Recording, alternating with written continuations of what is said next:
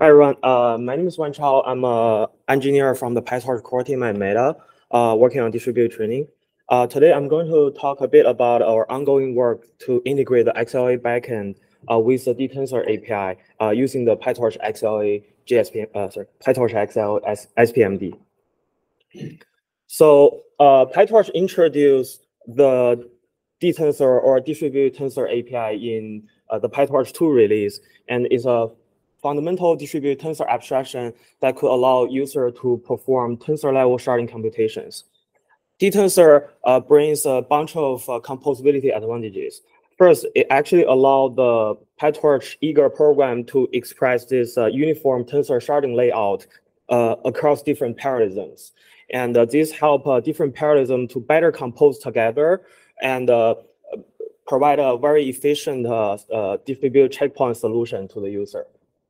The second is that uh, dtensor offers this uh, uh, sharded computation uh, uh, user model ordering easily in the SPMD or single program multiple data style. The third is that uh, currently dtensor is actually the backend of the PyTorch native tensor parallel API, which is also a prototype release we recently introduced. So dtensor itself uh, could do could fundamentally uh, do sharding on tensor dimension over a set of devices, or it can do a replication over a set of devices. We can see that a user just need to uh, specify a device mesh, and there's this uh, placement called shard and replicate to describe that uh, how do you want to place your big tensor into this uh, device mesh. And user uh, the dtensor allow this pretty complicated sharding layout like the you can shard it on a subset of device and then replicate on a subset of device. And this can be easily expressed by the device mesh and the placements combo. So talking about the detailed API, dtensor offers this uh, distributed tensor API that takes a tensor, uh, which can be a tensor that lives on CPU, can be a tensor that lives on meta device uh, that does not hold any data. And uh, it also takes a device mesh to tell that uh, how is your device organized, and then takes a placement to tell that how your uh, big tensor are going to be placed into this device mesh. And then this distributed tensor API will automatically uh, partition the data, uh, uh, for example, your data on CPU, and then move the corresponding shards to the to the device specified by the device mesh, and then return a D tensor that holds all the shards on the device. So how to use it? We can see that uh, uh, is a user just need to do this device mesh call that uh, create a device mesh and then uh, give any big tensor uh, that uh, pass into this distributed tensor and the return tensor are just D tensors, which is a tensor subclass that uh, the PyTorch tool offers. And this uh, D tensor can also pair, pair up the tensor operation on top of the return object so that you can do the whatever tensor operation you want with torch tensor. Uh, it is important to, to, to mention that uh, the tensor operation happen on D tensor will automatically propagate the sharding and run the collectives when needed. This works uh, perfectly fine for the eager backend like uh, CUDA and GPU, and user could just like uh, do some tensor operation, inspect the intermediate values, etc. Uh, it's also, uh, I also want to point out that uh, dtensor promotes this uh, SPMD style, and uh, we want to achieve the goal that a user can just program your model as if you are in a single device. So talking about uh, a bit about the goal of like integrating the XLA backend using the PyTorch XLA SPMD.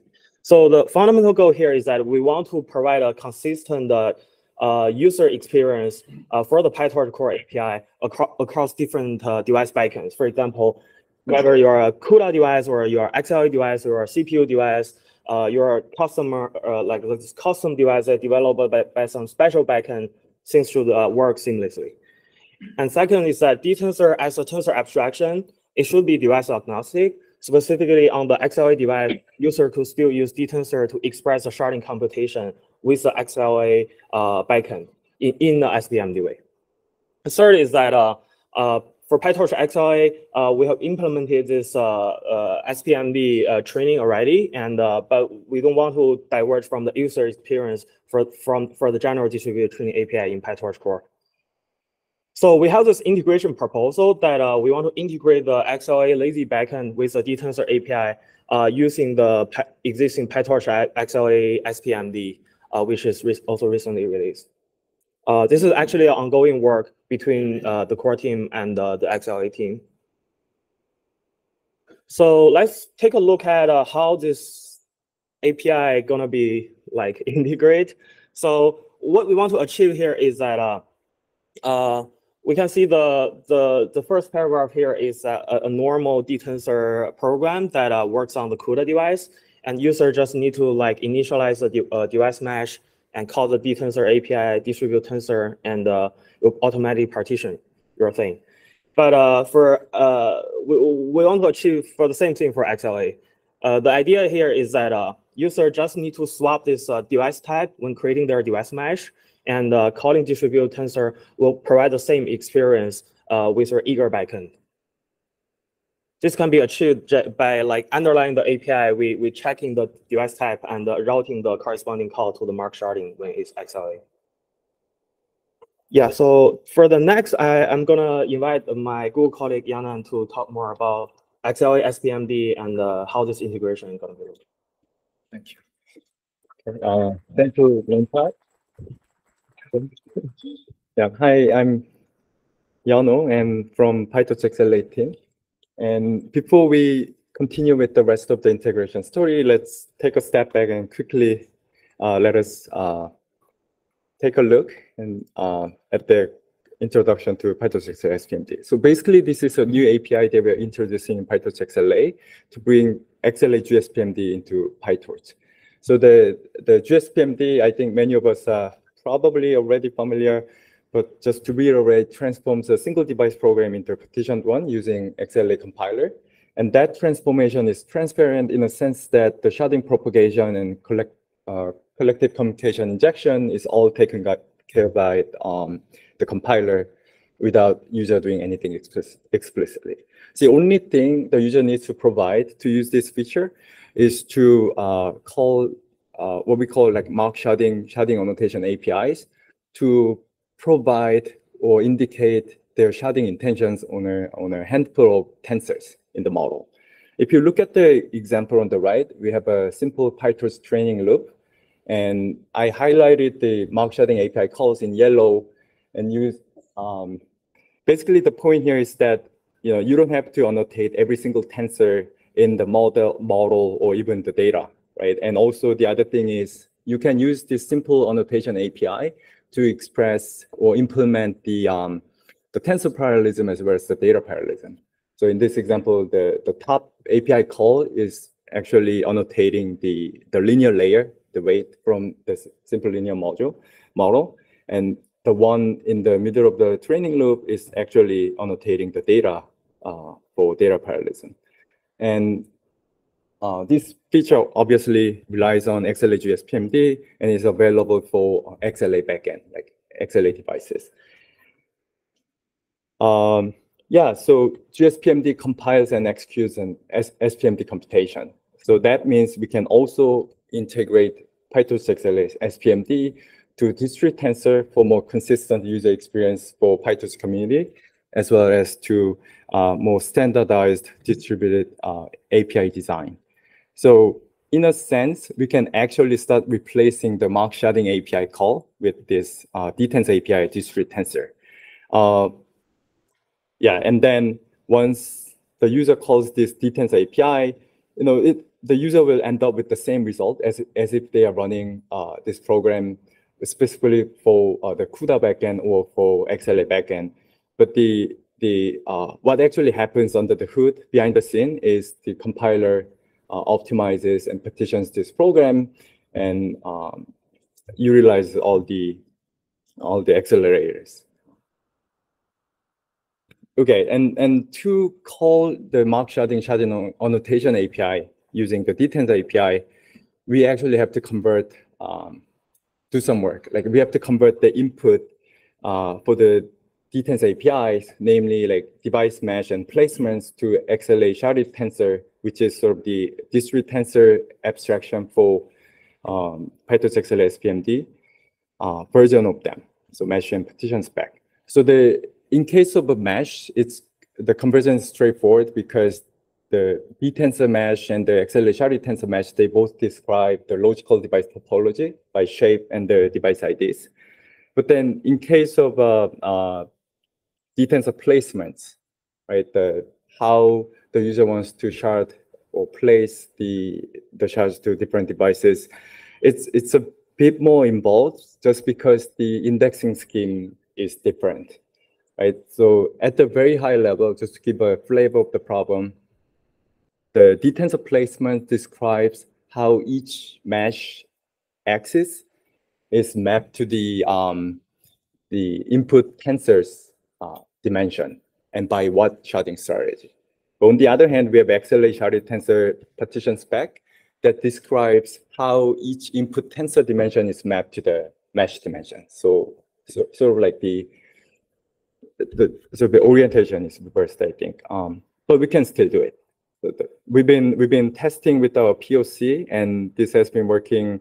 We had no problem actually uh, converting and implementing this simple use cases where the shards are fully tensors are fully sharded across all the accessible devices and also replicated. And we will uh, continue with the more advanced sharding strategy like a partial tiling or XLA. And lastly, uh, the sort of the next step for us to enable this full integration into D-Tensor API is making the XLA sharded tensor as a subclass of D-Tensor. This is important because the D-Tensor APIs, it returns D-Tensor. And we don't want to make an exception and return something else that might have some um, might have some different behaviors and semantics around uh, certain elements of the sharded tensor. Right? Uh, this is still in uh, in progress, ongoing investigation. But uh, the key here is that we want to um, we want to make sure that when we inherit the D-tensor for XLA sharded tensor, we don't violate any LSP and make sure that we can cover this, all the necess all the core API and functionalities from the D-tensor, even for the XLA uh, backend. Um, yeah, and I'm just listing some of our next steps for the integration and how we want to actually support XLA backend from the D-tensor, the PyTorch native distributed APIs. And in addition to making the XLA sharded tensor uh, a subclass of D-tensor, we also want to, we are also looking at this uh, another core API from the D-tensor package, the distribute module. This is um, the API that recursively calls distribute tensor on the, the submodules and the layers from a given module and I think this could be a uh, another good integration point where we can actually introduced uh, PyTorch XLA SPMD's policy-based mark sharding, annotation, or auto sharding as well. Um, the other thing is, uh, I think Sharon also briefly touched on this. The Dynamo Torch compile is a new uh, initiative, initiative that's that's released in PyTorch uh, 2.0, and I think the effort and the maturity is continuously growing. Um, we want to Dynamo uh, started capturing the D-tensor, but also we are working to make sure that Dynamo support our sharding annotation API. And when it when the D-tensor and the, the XLA sharded tensor, PyTorch XLA SPMD uh, gets integrated, so we, we want to make sure that uh, we don't diverge and we continue to support the Dynamo and the graph capturing there. Uh, yeah, that's pretty much it. And if you have any questions, um, yeah, please, please feel free to reach out to us at PyTorch and PyTorch XLA project. Um, yeah, thank you.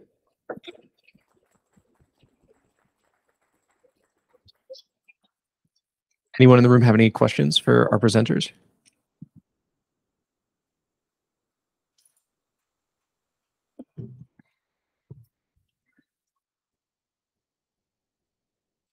For for like custom layers, custom ops, do you provide an API or do we have to specify how the sharding is propagated for those layers? Is that part of the plan? Custom ops for PyTorch? Uh, yeah, let's say you download it and you have a special CUDA implementation, for example, for a specific module. I see.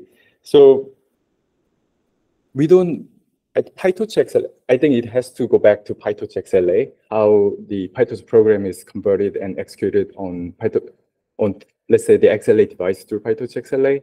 But we don't directly use, say, CUDA kernels. We have our own version of uh, like lowered ops. So for given PyTorch ops, if we provide, we are, we are already providing sort of the, the custom lowering for that operation. And it gets later compiled into the, the program that runs on, say, XLA TPU, for example. And if you want to provide your custom implementation for certain op, you can definitely do that. Sounds good. What about the XLA custom op? That has a hook to specify how to. Yeah, Okay, yeah. got it. Okay, thanks. Yeah, for the, for the, for the, for the- for the eager, like, uh, custom op, I think, uh, people will, will, will figure out a way for users to register their own sharding rule. They, yeah, they